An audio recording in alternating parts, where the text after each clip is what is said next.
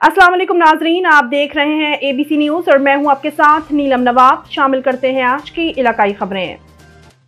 नाजरीन, इलाकाई बुलेटिन के आगाज़ में सबसे पहले खबर शामिल करते हैं रावलपिंडी से, जहाँ एबीसी न्यूज़ के नुमाइंदा मोहम्मद शेख की रिपोर्ट के मुताबिक रावलपिंडी के इलाका एयरपोर्ट हाउसिंग सोसाइटी में पीडीए प्रॉपर्टी डीलर एसोसिएशन के सदर सईद इब्रार अहमद शाह के मरकजी ऑफ़िस डिफेंस बिल्डर्स का अफ्ताह civic centre airport housing society में कर दिया गया। अफ्ताह में सियासी और समाजी शख्सियात ने शिरकत की। एयरपोर्ट हाउसिंग सोसाइटी के सेक्रेटरी राना उबैद अली खान सदर आबिद हफीज फर्ड साबिर खान तनोली, सबका general councillor Tehreek Insaf Ibrar Bangash Saeed Waqar Ahmed Shah, Saeed Israr Ahmed Shah, Saqib Qureshi, anchor person A B C news Chaudhry Abid Mukhtar Nausherwan Kayani, Lala Munir, Khattak, Aqeel Paracha, Chaudhry Kamran Gujjar, Sardar Irfan इफ्तार खान खारी, चौधरी दाइन सुल्तान खालिद खान सवाती मलिक इमरान अब्बास और दीगर dealers ने शिरकत की। इस मौके पर तमाम प्रॉपर्टी डीलर्स ने सईद इब्रार अहमद शाह को नए ऑफ़िस बनाने पर मुबारकबाद दी और नई ख्वाहिशात का इजहार किया। इफ्ताह के आखिर में कारोबार की खैर बरकत के लिए मुफ्ती ताहिर साहब ने दुआ करवाई। सईद इब्रार अहमद शाह ने तमाम आने वाले मेहमानों का तहे दिल से शुक्रिया अदा किया। सईद इब्रार अहमद शाह का कहना था कि यह ऑफ़िस डीलर्स के लिए है और मेरी ज़ात डीलर्स के तहफ़ और उनके मसाइल के लिए हर वक्त मौजूद है। ये तमाम डीलर्स का अतमाद है, जिसकी बदौलत मैं पी डी ए का सदर हूँ और मैं इस पर अपने डीलर्स भाइयों का तहे दिल से मशहूर हूँ, जिन्होंने मुझ पर अतमाद करते हुए मुझे ये ज़िम्मेदारी सौंपी हुई है।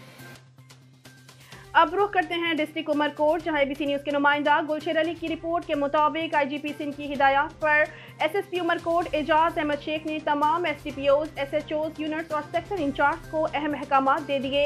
एसएसपी उमरकोट ने रिक्रूट ट्रेनिंग मुकम्मल करके आने वाले पुलिस ऑफिशल्स की मजमू ओ आर रखी प्राइज मनसबी और पेशा वराना ज़िम्मेदारी के हवाला से ब्रीफ किया। बाद एस एस पी उमरकोट ने पुलिस लाइन और पुलिस हेडक्वार्टर उमरकोट का विज़िट किया। सफ़ाई सुथराई मेंटेनेंस पार्किंग एरिया और इंट्री एग्जिट पॉइंट का जायजा लिया। एंट्री और एग्जिट गेट्स पर तैनात पुलिस ऑफिसर्स को हदायत दी। एंट्री बुक चेक किया। खबर शामिल करते हैं। सवाबी से एबीसी न्यूज़ के ब्यूरो चीफ रंगेज अहमद खान की रिपोर्ट के मुताबिक तब्दील होने वाले डीएसपी सवाबी फारूक जमान खान की एजाज में अलविदाई तकरीब का इनका तफसीत के मुताबिक आज बरोज जुमा डी पी ओ सवाबी दफ्तर में तब्दील होने वाले D S P Swabi Farooq Zaman Khan के एजाज में अलविदाई तकरीब का इनका हुआ। इस मौके पर एस टी पी ओ जुमला एस एच ओ ने शिरकत की।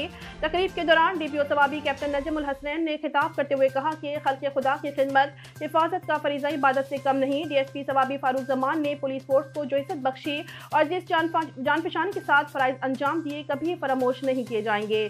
टी पी ओ सवाबी ने कहा कि तबादला मुलाजमत का हिस्सा है। D S P Farooq Zaman Khan ने दौरान तैनाती बेहतरीन पेशा वराना सलाहितों का मुजाहरा किया। एक अच्छे पुलिस ऑफिसर की कामयाबी यही है कि जहाँ भी ड्यूटी सर अंजाम दें, इसके जाने के बाद लोग अच्छे अल्फाज में याद रखें। अब रुख करते हैं जिला बहावल नगर का, जहाँ एबीसी न्यूज़ की डिस्ट्रिक्ट रिपोर्टर चौधरी कदीर अहमद की रिपोर्ट के मुताबिक district public school Bahawalnagar में मौसम बहार की शजरकारी मुहिम की तकरीब का इनका किया गया। Deputy commissioner Bahawalnagar Salman Khan Lodhi और D P O Ali Raza मुख्तु महकमों के अफसरान उसाद और स्टूडेंट्स ने शिरकत की। इस मौके पर डिप्टी कमिश्नर सलमान खान लोधी और district police officer Syed Ali Raza ने स्कूल के सब्जाजार में पौधे लगाए और बच्चों की जानब से लगाए गए मुख्तलिफ़ स्टॉल्स का भी मुआयना किया। उन्होंने कहा कि दरख्त माहौलियाती आलूगी के खात्मे में अहम किरदार के हामिल हैं और ग्लोबल वार्मिंग और माहौलियाती और मौसमियाती तब्दीलियों से नबरद आजमा होने के लिए शजरकारी का फ़रोग वक्त का अहम तरीन तकाजा है। डिस्ट्रिक्ट पब्लिक स्कूल हॉल में तकरीब से खिताब में A D C G Mohammad Yusuf Cheena principal professor Shafiq Ahmed divisional forest officer Mohammad Afzal ने भी शजरकारी की अहमियत को उजागर किया। Divisional forest officer Bahawalnagar के मुताबिक मौसम बहार की शजरकारी मुहिम के दौरान जिला बहावल नगर में पाँच लाख छब्बीस हज़ार पौधे लगाए जाएँगे। खबर शामिल करते हैं डिस्ट्रिक्ट राजनपुर की तहसील रुझान से। एबीसी न्यूज़ के डिस्ट्रिक्ट रिपोर्टर अली गुल मजारी की रिपोर्ट के मुताबिक कच्चा राज़ी के इलाका, बस्ती मोहम्मद अमीन मरहूम, फारूक मजारी के मदरसा और देरे पर सरदार बिलाल खान की आमद। सरदार बिलाल खान की कच्चा के लोगों ने दिल खोल कर सरदार साहब को खुश आमदीद कहा। सरदार साहब को फूलों के हार पहनाए गए। बहुत इज़्ज़त से नवाजा गया। इलाका के मौजूद शख्सियत दीगर कराम ने सरदार साहब को वेलकम किया जिसमें मौलाना यहिया सदीकी, कारी बशीर अहमद, कारी अयूब अंसारी, मौलाना मोहम्मद अहमद साहब, दीगर मोजीन भी शामिल थे। इलाका के मौजूद शख्सियत फारूक मजारी ने सरदार साहब का तहे दिल से शुक्रिया अदा किया। जाते हुए सरदार साहब ने फारूक मजारी इलाका के लोगों का शुक्रिया अदा करते हुए कहा कि आप लोगों ने बहुत इज़्ज़त से नवाजा, जो मेरे लिए कबले फ़ख्र की बात है।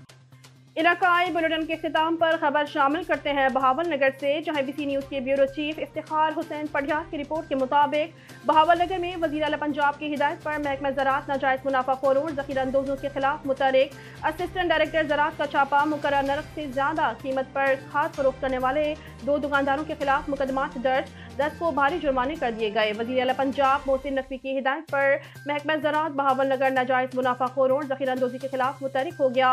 असिस्टेंट डायरेक्टर ज़रात तोसी शेख अकरम याकूब ने नवाहीला का डगजानी पर छापा मार कर हुकूमत की जानब से मुकर करदा रेट से जायद कीमतों पर खाद फरोख्त करने वालों के खिलाफ कार्रवाइयाँ करते हुए जायद कीमत पर खाद फरोख्त करने वाले दो दुकानदारों के खिलाफ प्राइस कंट्रोल एक्ट के तहत मुकदमा दर्ज कर लिए गए, जबकि दस दुकानदारों को लाखों रुपए के जुर्माने भी आयद किए गए। इस मौके पर असिस्टेंट डायरेक्टर शेख अकरम याकूब का कहना था कि किसी को भी खाद, महँगे दामों, फरोख्त करने की इजाज़त नहीं दी जाएगी। जायद कीमत वसूली की सूरत में लूट मार करने वालों के खिलाफ सख्त कार्रवाई अमल में लाई जाएगी। किसानों को हुकूमत के मुकर करदा रेट पर खाद की फरहमी हर सूरत मुमकिन बनाई जाएगी। नाजरीन, इलाकाई खबरों में अब तक इतना ही। मजीद किसी भी किस्म की खबरों के लिए विज़िट कीजिए हमारी website A B C news dot com dot P K